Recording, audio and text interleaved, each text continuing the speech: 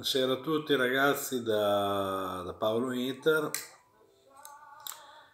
Stasera parleremo di un paio di argomenti, appunto come avete visto la, la copertina iniziale, parleremo subito di Europa League, del, della nostra prossima avversaria di Europa League dei sedicesimi che sarà il Rapid Vienna e poi farò, dirò due cosette su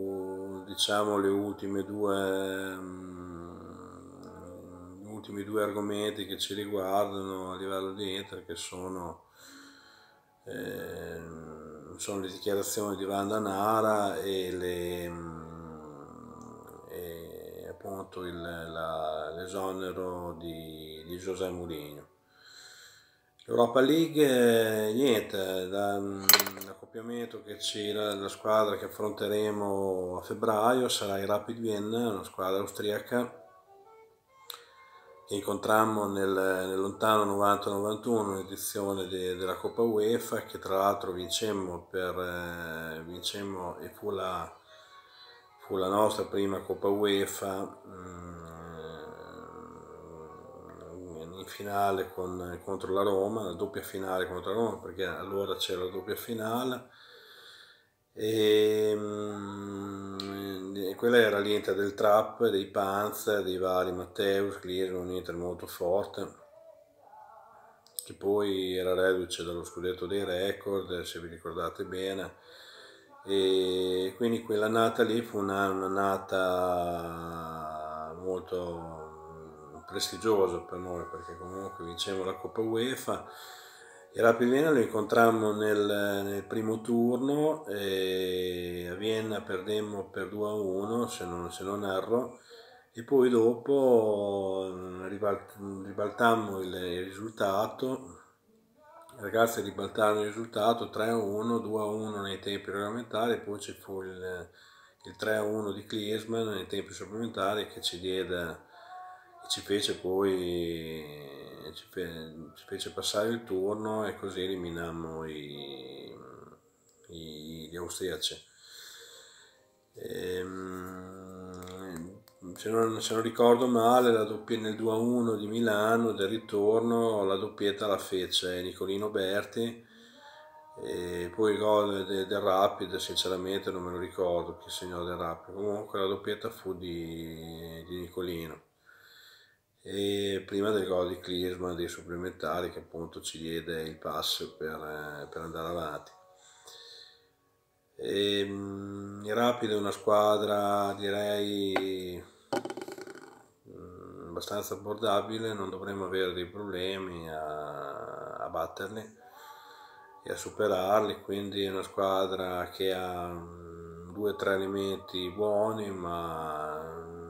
squadra che eccelle a livello di, di, di, di talento, di, comunque non ha, non ha campioni ecco, in rosa.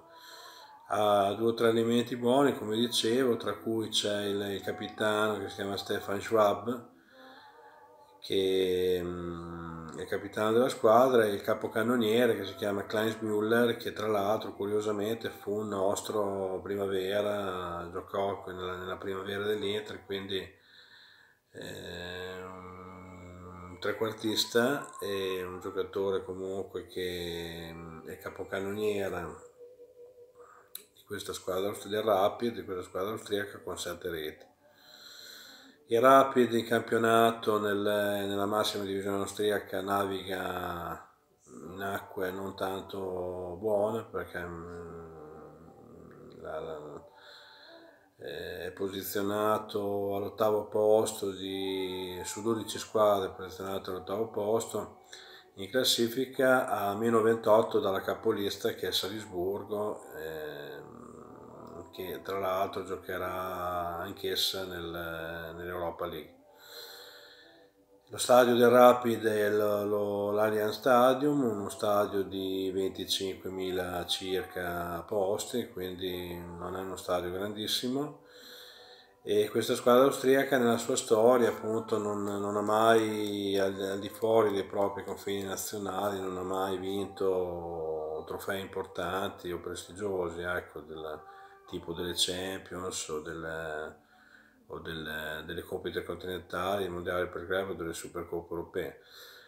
All'attivo, ha vinto all'attivo, nel suo palmarès ci sono 32 titoli nazionali, una Coppa di Germania, qualche Coppa nazionale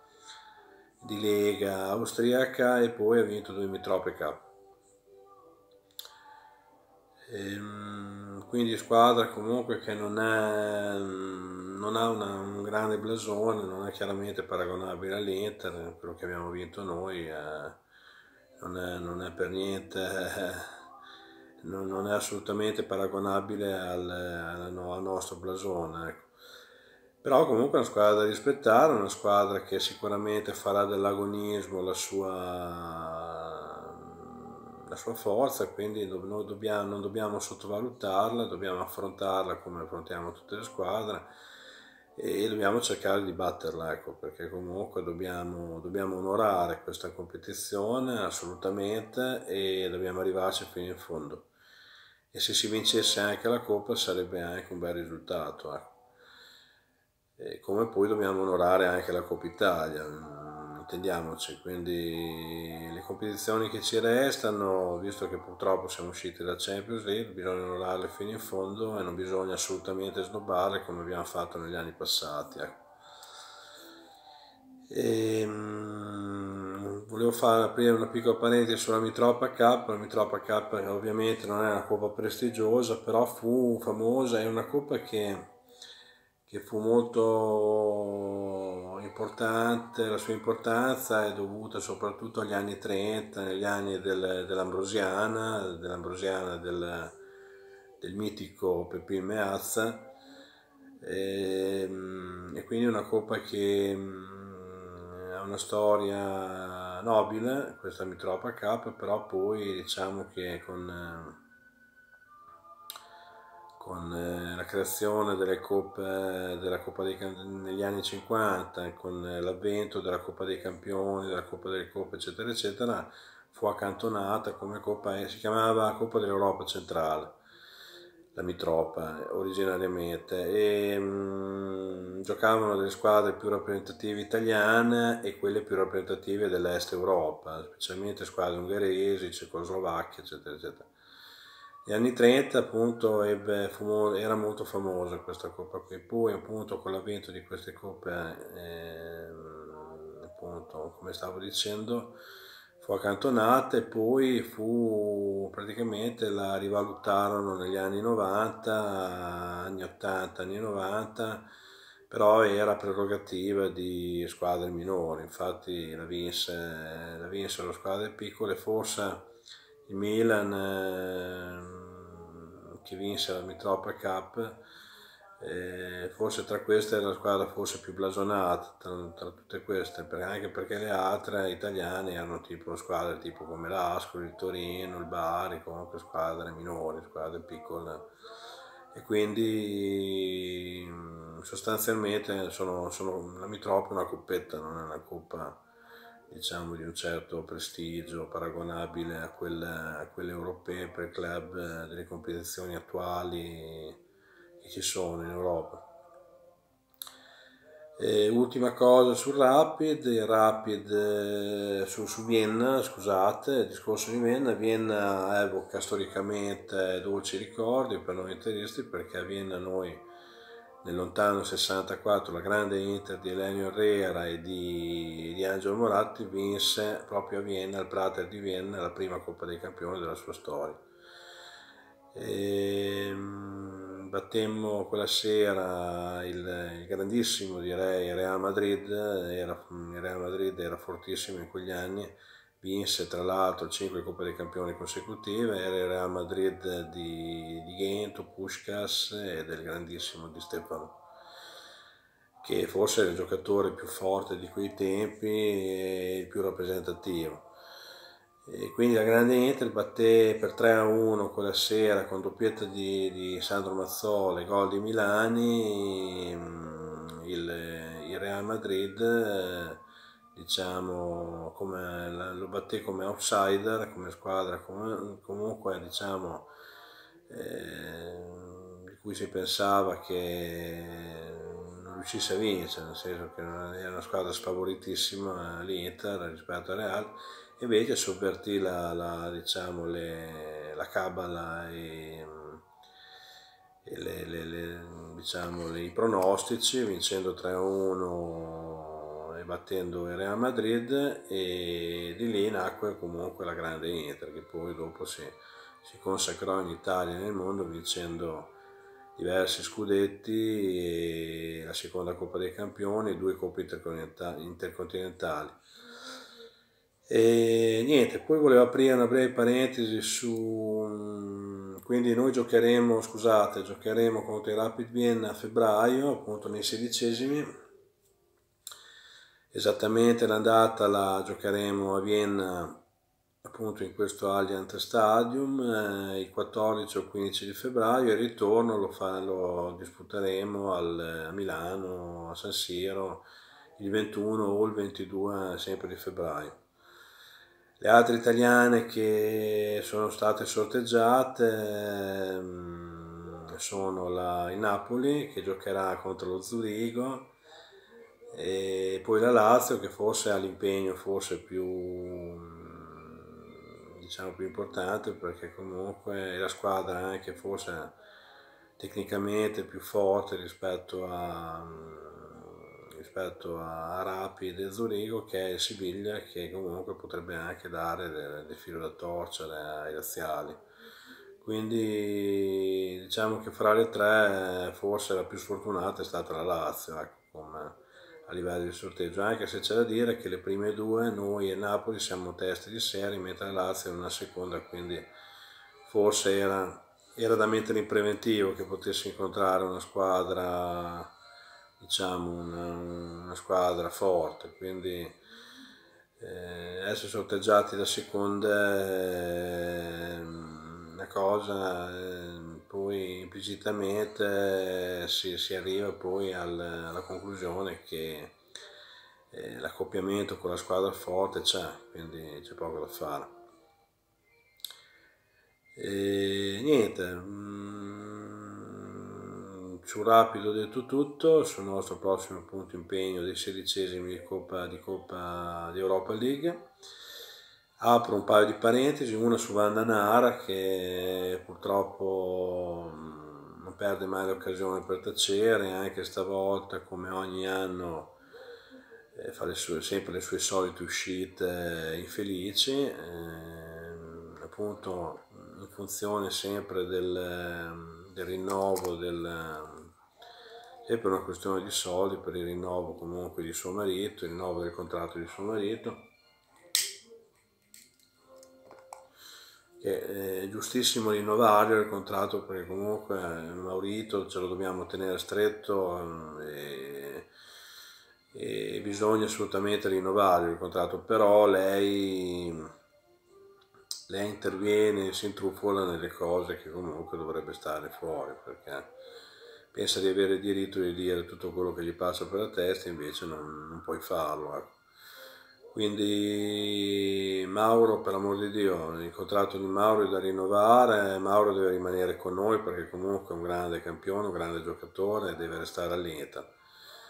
E Vandanara sarebbe forse ora che tacesse un po' e che non intervenisse sempre con i suoi interventi fuori luogo e a sproposito. Infatti ha avuto, lei ha tirato in ballo ancora la Juve, la vecchia, il discorso del, che la Juve aveva già, che lui doveva andare alla Juve, Icardi, appunto per mettere del pepe, per cercare di stabilizzare come al solito l'ambiente interista. E un po' per metà c'è riuscita perché comunque c'è stata la, ci sono state un paio di dichiarazioni, una di Ausilio che eh, lui ha negato il fatto di un accordo, del famoso accordo, se ricordate bene, col PPIT, di quello scambio che quell'ipotetico scambio di cui si parlava circa un annetto fa col PPIT e ha negato questa, questa ipotesi e, mm, e, poi dopo c'è, una, c'è stata l'altra dichiarazione di Beppe Marotta che ha detto la stessa cosa che ho detto io, nel senso che poteva fare silenzio, poteva tacere invece di dire queste cose, ma Danara, e poi comunque ha precisato che quando lui era alla Juve, eh, lui non ha parlato di uno scambio con Higuain, però ha precisato che quando lui lavorava per la Juve eh, stato, era stato fatto un sondaggio sui cardi perché comunque l'intenzione di acquistare i cardi c'era. Quindi un po' di vero, magari un fondo di verità ci può anche essere. Eh, però per il discorso scambi Higuain c'è un grande punto interrogativo perché i giornali ne parlarono in modo sibillino, se voi vi ricordate bene, e ne parlarono come una cosa reale, realistica, che comunque invece a mio parere potrebbero essere state anche chiacchiere da bar e comunque i soliti, i soliti diciamo, titoloni per far vendere i giornali dei soliti giornalai nostrani che non fanno altro che giornalai, non giornalisti, giornalai nostrani, con tutto il rispetto per i giornalai veri, quelli dell'edicola, che non fanno altro che comunque per, l'audience, per avere, per avere, diciamo, per vendere i giornali, non fanno altro che sparare una, un fracco di cazzate, ecco, quindi lì bisogna vedere. per il discorso appunto di, di, di, mm, quindi poi anche un'altra cosa che ha detto, ha detto Marotta è che comunque sì c'era la priorità della sistemazione di Guain infatti poi c'è stato poi il discorso del Milan e dopo è nato il Milan però sì, sui cardi era stato effettuato solo comunque un sondaggio perché poteva interessare ma poi la trattativa non fu, non fu neanche iniziata da quello che dice lui poi non, eh, non ebbe un seguito alla trattativa e quindi finì tutto lì. Ecco. L'altro discorso che volevo fare era su Mourinho, Mourinho notizia appunto di, di ieri o l'altro ieri, adesso di l'altro ieri, di, di Mourinho che è stato esonerato da, dal Manchester United, cioè inizialmente sarebbe stato esonerato, poi dopo è venuto fuori un, un comunicato della, della, società che avrebbe detto che lui si è dimesso. Comunque la, la, la, la, sostanza è sempre quella, nel senso che comunque è stato diciamo, licenziato diciamo, dal, dal Manchester United. E I motivi, si è parlato di discrezi, di incomprensioni a livello con alcuni dirigenti della, della società e anche per la, la, la poca, diciamo, po' la, la ruggine che c'era tra lui e Pogba, sembra che anche il discorso Pogba abbia influito un po' in questa sua decisione estrema di, di, di dimettersi e poi dopo praticamente a notizia arrivata si è scatenato il web, sono scatenati soprattutto una parte di tifosi interisti che hanno cominciato a invocarlo, a, torna a casa Giuseppe, vieni, Spalletti vattene, i soliti discorsi, la solita gente che appena c'è una notizia subito si, si scatena. E... Io personalmente sono dell'idea che non, non, è il caso di, di, di, di richiamare Mourinho perché comunque Mourinho potrebbe essere, non è detto che rappresenti è stato un grande personaggio, io lo ammiro come interista, lo, lo, lo ricorderò sempre con piacere perché comunque ci ha fatto vincere il triplete, la Champions League, rimarrà sempre un po' nel mio limbo dei, dei grandi personaggi che hanno fatto grande l'Inter, quindi per amore di Dio io lo rispetto, lo, lo, lo rimane sempre nel mio cuore Mourinho, però penso che non sia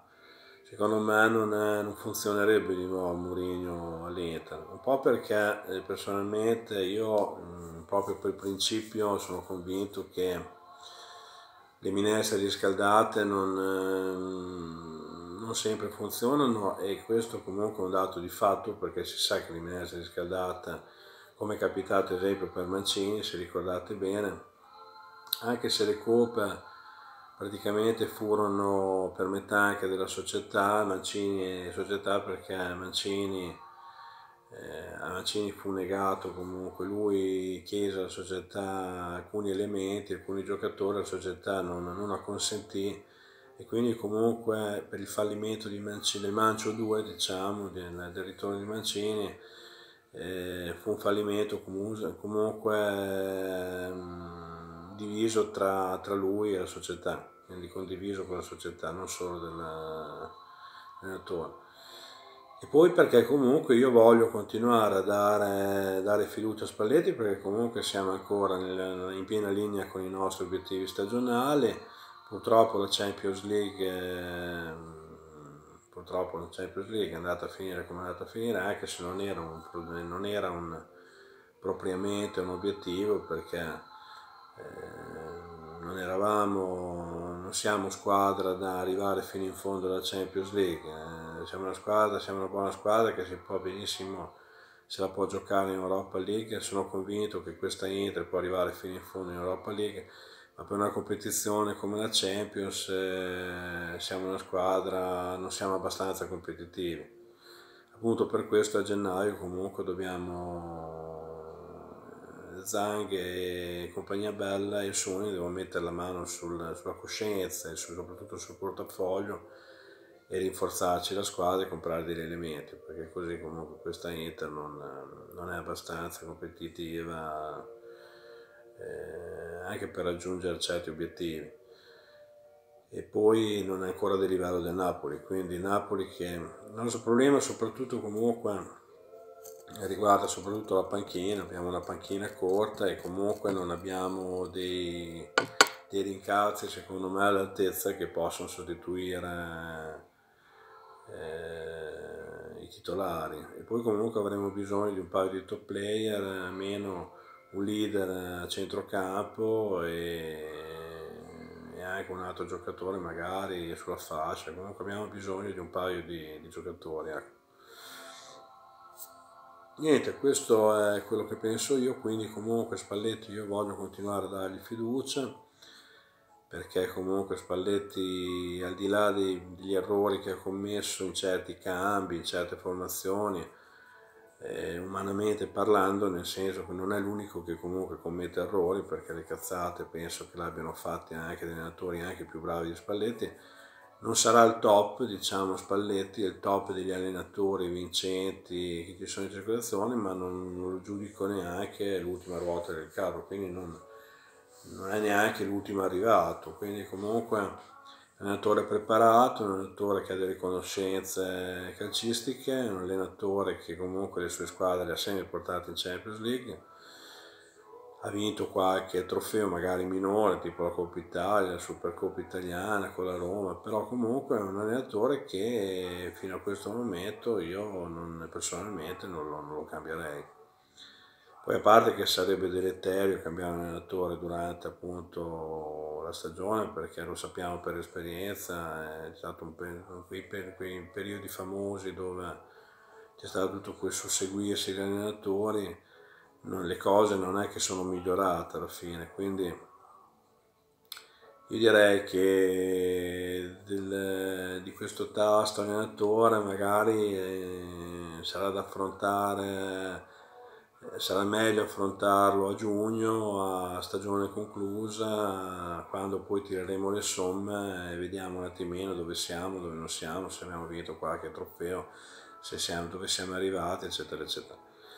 Niente, io ho detto quello che volevo, volevo appunto dirvi, mm, ho detto la, la, mia, la mia, opinione su, queste, su questi argomenti, abbiamo parlato di Europa League noi ragazzi ci vediamo prima di sabato per eh, il mio video sul, su Chievo Inter. Eh, sabato ci giocher, giocheremo a Verona contro il Chievo in campionato. Farò un video appunto su prepartita parlando della formazione, parlando magari anche tirando fuori qualche dato statistico sul, sulla sfida appunto di sabato e un'ultima cosa, io avevo, vi avevo preannunciato nei video precedenti che avrei fatto un, eh, un video, una live su FIFA 19, magari sulla partita proprio Chievo-Inter, eh, una live sulla giocata da me, magari appunto per, così, per fare qualcosa di diverso insieme Non so se riuscirò a farla per questione di tempo, al limite se non, non ce la farò rimanderemo alla prossima di campionato che sarà contro il Napoli. Il match clou contro il Napoli a San Siro del 26, 26 dicembre di Santo Stefano, dove appunto sarà l'ultima partita dell'anno solare per l'Inter, la nostra Inter e se riuscirò farò il video, questa live la farò appunto per Inter Napoli, quindi giocherò Inter Napoli anziché Chievo Inter.